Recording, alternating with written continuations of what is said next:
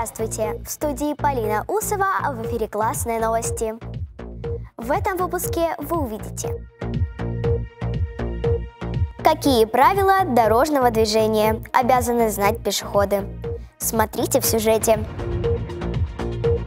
Как научиться красиво рисовать? Узнавали мои коллеги на мастер-классе. Как прошел конкурс «Мини-Мисс Донбасс 2020»? Подробности в выпуске. Чем отличился этот день в истории, расскажет Марк Вергизов. Самые простые упражнения по фитнесу. Смотрите в рубрике «Физкульт. Привет».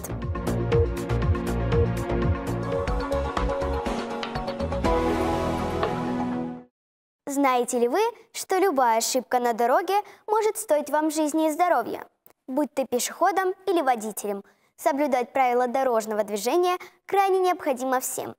Наши спецскоры решили напомнить вам золотые правила для пешеходов. Прямо сейчас они с нами на связи. Привет, ребята! Где вы находитесь? Привет, Полина! Мы сейчас находимся на одном из самых оживленных перекрестков города Донецка. Вы готовы дать пару уроков для наших телезрителей? Да, Полина, сейчас мы всем расскажем о самых главных правилах дорожного движения для пешеходов.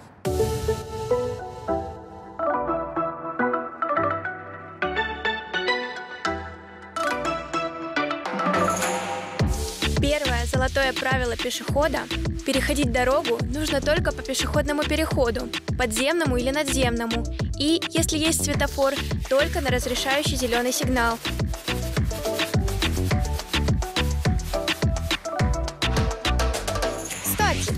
Пешеходный переход – это участок дороги, предназначенный для движения пешеходов через дорогу, и обозначается этот участок дорожными знаками.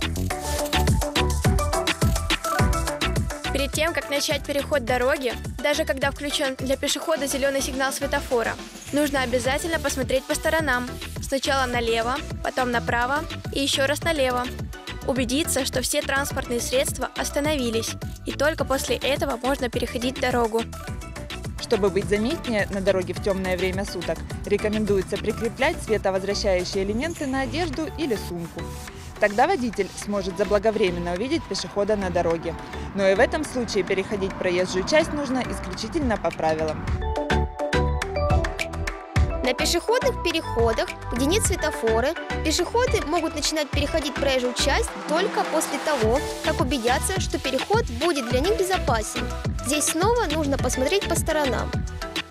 В случае отсутствия пешеходного перехода пересекать проезжую часть нужно на перекрестках по линиям тротуаров или обочин. Особенно внимательными нужно быть при переходе дороги в районе остановок общественного транспорта. Здесь самая большая помеха обзору – остановившийся автобус, троллейбус или трамвай. Не следует обходить транспорт общего пользования ни спереди, ни сзади. Нужно дождаться, пока транспорт отъедет, и только тогда переходить дорогу, соблюдая правила дорожного движения. Правила дорожного движения – это святое. Главное – никогда их не нарушать. А с вами были Кристина Климко И Михаил Аржанцев. Полина, передаем тебе слово. Спасибо вам! А теперь предлагаю поинтересоваться у жителей республики, знают ли они правила дорожного движения. Поможет нам в этом Елизавета Василенко. Она уже с нами на связи. Привет, Лиза. Где ты находишься? Привет, Полина. Я сейчас нахожусь на одной из центральных улиц города Донецка. Расскажи телезрителям, что ты там делаешь? Я хочу узнать у взрослых, насколько хорошо они знают правила дорожного движения. Такие вещи нужно знать всем. Вот мы сейчас и проверим. На какой цвет нужно переходить дорогу? На зеленый. Перед переходом дороги в какую сторону нужно смотреть в начале? Вначале влево. Какие бывают пешеходные переходы? Надземный, подземный. Всегда ли вы соблюдаете правила дорожного движения? Стараюсь, да, всегда соблюдать правила дорожного движения. Как вы думаете, насколько важно соблюдать правила дорожного движения? Это не то чтобы важно, это необходимо, чтобы обезопасить себя, свою жизнь и здоровье. На какой цвет светофора нужно переходить дорогу? Конечно же, на зеленый. Перед переходом дороги в какую сторону нужно смотреть в начале? Вначале на левую, а потом на правую. Какие бывают пешеходные переходы? Зебра. Какие бывают пешеходные переходы? подземные и надземные. А всегда ли вы соблюдаете правила дорожного движения? Нет, Как думаете, насколько важно соблюдать правила дорожного движения? Жизненно необходимо. На какой цвет светофора нужно переходить дорогу? Зеленый. Какие бывают э, пешеходные переходы? Подземный, надземный и обычный по земле зебра. А насколько важно э, соблюдать правила дорожного движения, как вы думаете? Ну, настолько же важно, как цена твоя жизнь. Если тебе цена, то значит очень важно. Всегда ли вы соблюдаете правила дорожного движения? А, По поводу перехода на зеленый свет не всегда. Иногда спешу и пустая дорога и перебегаю. Перед переходом дороги в какую сторону нужно смотреть в начале? Ну, вправо, влево. Какие бывают пешеходные переходы? Не знаю, честно говоря. Всегда ли вы соблюдаете правила дорожного движения? Конечно, Как думаете, насколько важно соблюдать правила дорожного движения? жизненно необходимо. Вот мы и убедились, что правила дорожного движения – это очень важно. Опрос подготовила Елизавета Василенко специально для классных новостей.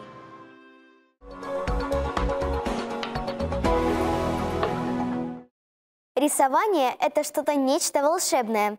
Ведь когда мы рисуем, мы воплощаем в жизнь наши мысли и идеи. А знали ли вы, что есть много интересных техник рисования? Наша съемочная команда решила отправиться на мастер-класс по рисованию и узнать, как можно легко и просто научиться этому искусству. Нам удалось попробовать две необычные техники. Интересно, какие? Смотрим. Когда мы смотрим на картину, мы видим мир глазами художника, его мысли, идеи. Звучит прекрасно. Но оказывается, красиво рисовать совсем не сложно. И на сегодняшнем мастер-классе мы узнаем две необычные техники, с которыми справится каждый. Вау, ты умеешь заинтриговать.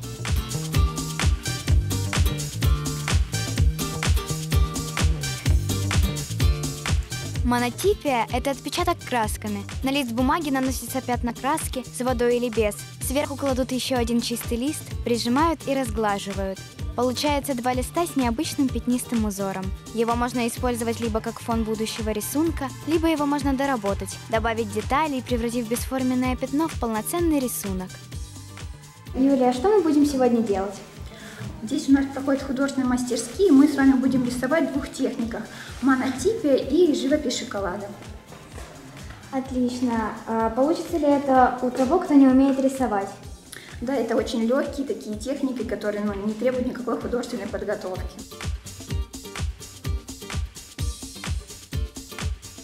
Ого, уже красиво, а ведь еще дорисовать можно. Лиза, что ты в этом видишь? Кажется, это похоже на рыбку.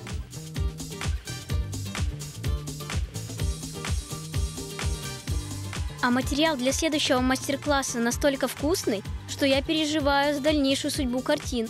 Кстати, вы знали, что белый шоколад делают из того же материала, что и обычный темный шоколад, из масла какао, сухого молока и ванилина, но без добавления какао-порошка. Поэтому он более калорийный, чем обычный черный шоколад. Скажи, ты любишь рисовать? Да, очень. А что ты чаще всего рисуешь? А, домашних животных. Чаще всего я люблю рисовать разных животных. Домашних питомцев, собак, котов. А что ты сделаешь с картиной, которую сегодня нарисуешь? Дам маме и папе повесят на работе. Повешу у себя дома в кухне. Я повешу среди своих картин.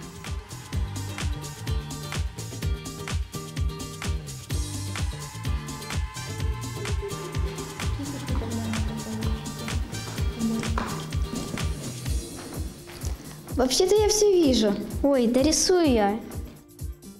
Рисунок – это тоже нечто близкое ко сну. Здесь действуют те же механизмы, как и в сновидении. Смещение, сгущение, рассеивание. На рисунке мы часто изображаем то, о чем сейчас не помним и не думаем. Страхи и желания, образы и мысли. То же самое происходит и во сне. Вот такая красота у нас получилась, несмотря на то, что мы далеко не художники. Попробуйте и вы, только не волнуйтесь о возможной неудаче. Рисуйте так, как рисуете. А с вами были Елизавета Василенко и Александра Морская. Специально для классных новостей.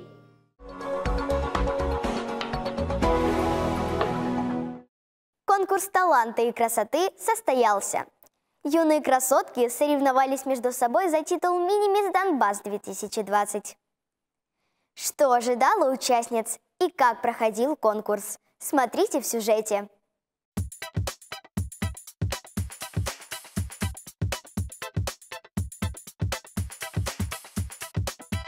Сегодня здесь, в Шахтер-Плазе, ежегодный конкурс красоты и талантов.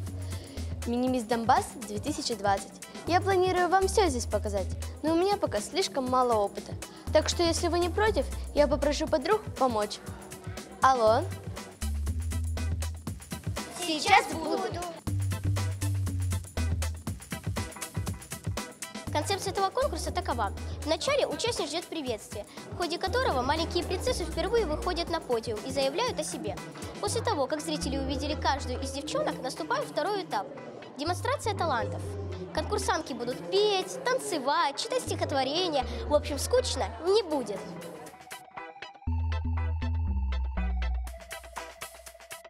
Участницы конкурса, как настоящие модели, даже покажут дефиле коллекции дизайнерской одежды. А потом мы все узнаем, кто же станет мини-мисс Донбасса 2020.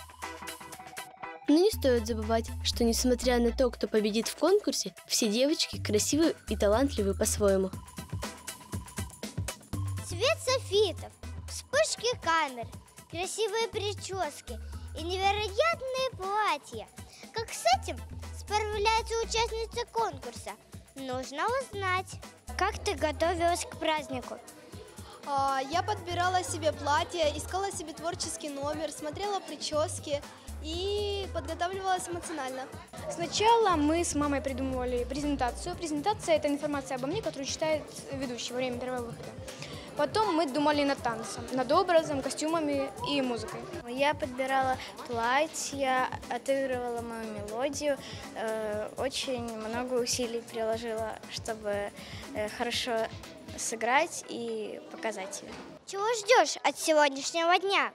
Жду приятных эмоций, подарков, ну и, конечно же, звания мини-мисс Донбасс. Ярких эмоций, э, хорошего настроения, чтобы всем понравился мой творческий номер и, конечно же, победить всех. Не менее важной частью праздника являются гости и зрители, ведь без них нашим юным звездам просто не перед кем было бы показывать свою индивидуальность. Почему не участвуете? А, Потому что я недавно узнала об мне о нем рассказала моя подруга Даша. А, Она здесь участвует, и я надеюсь, что она победит. Чего бы вы хотели пожелать участницам? Смелости, не бояться выходить на сцену, и чтобы, если они проиграли, то не расстраивались, потому что каждая из них по-своему талантливая и красивая.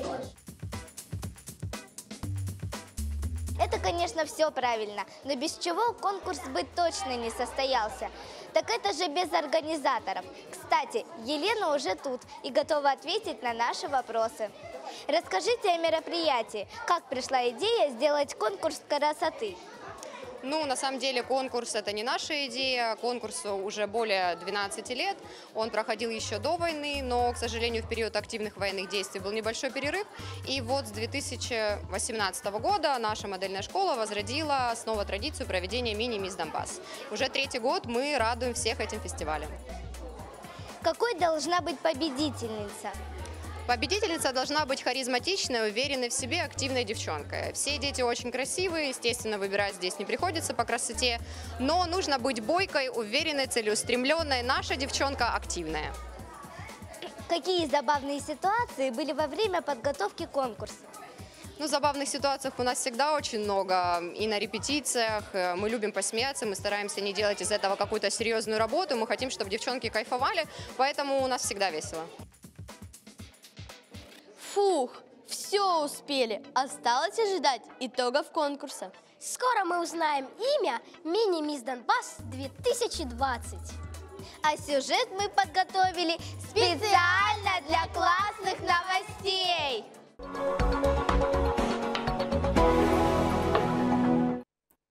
Что такое Солнце? Что мы можем о нем сказать?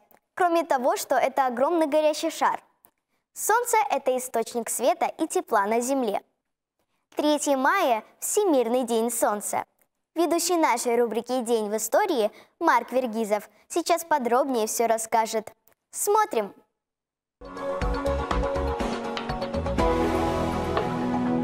Добрый день! Это рубрика «День в истории» и я ее ведущий Вильгизов Марк. Сегодня 3 мая, Всемирный день Солнца. Начиная с 1994 года в разных странах 3 мая отмечается Днем Солнца, иногда называемый Всемирным или Международным Днем Солнца. Солнце – ближайшая к Земле звезда, все другие находятся от нас неизмерно дальше. Например, ближайшая к нам звезда Проксима из созвездия Альфа Центавра находится на расстоянии 4,22 световых лет от Солнца. Для Земли Солнце – мощный источник космической энергии.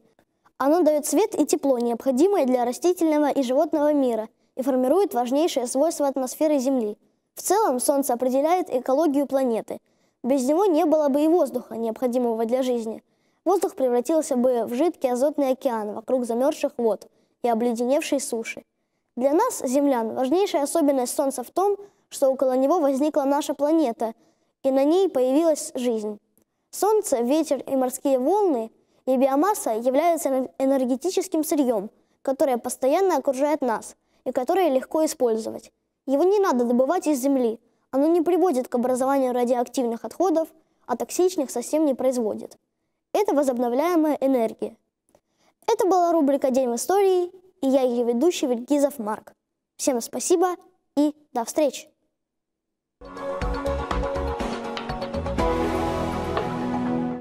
Фитнес – это весело, задорно, а главное – полезно. Арина Вишневская решила подготовить для вас, дорогие телезрители, интересную подборку упражнений. Советую вам прямо сейчас становиться напротив телеэкранов и повторять за ней.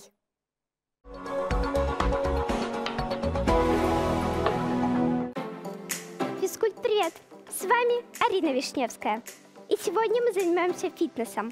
Становитесь перед экранами и повторяйте за мной. Начнем с приседаний. Делаем их 8 раз. Раз, два, три, четыре, пять, шесть, семь, восемь. Хорошо. Следующее упражнение – это скручивание. Делаем их в правую и в левую сторону. Восемь раз. И раз, два, три, четыре, пять, шесть, семь, восемь. Раз, два, три, четыре, пять, шесть, семь, восемь. Молодцы. Следующее упражнение – это выпады. Делаем их на левую а также на правую ногу. Восемь раз. Начали. Раз, два, три, четыре, пять, шесть, семь, восемь. Теперь мы делаем планки. Сначала верхняя. Делаем ее примерно 15 секунд.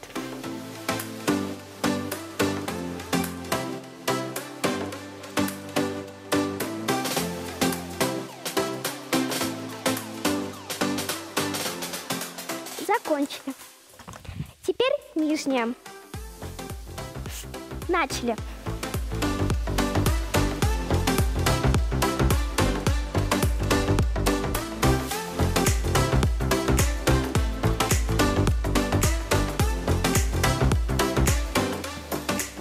Следующее упражнение – это мы ложимся и поднимаем наш таз 8 раз. Начали. Раз, два, четыре, пять, шесть, семь, восемь. Хорошо. Следующее и последнее упражнение – это отжимания. Делаем их 8 раз с колен. Раз, два, три, четыре,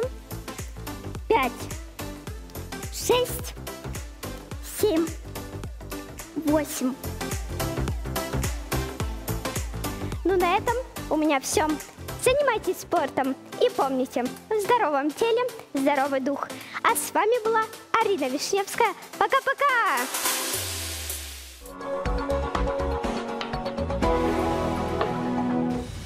Напомню, что все самое интересное вы можете найти в нашей группе ВКонтакте. Последние новости, анонсы, прямые трансляции, а также многое другое. Заходите в гости, мы вам всегда рады. На этом выпуск программы «Классные новости» завершается. С вами была Полина Усова. До новых встреч в эфире.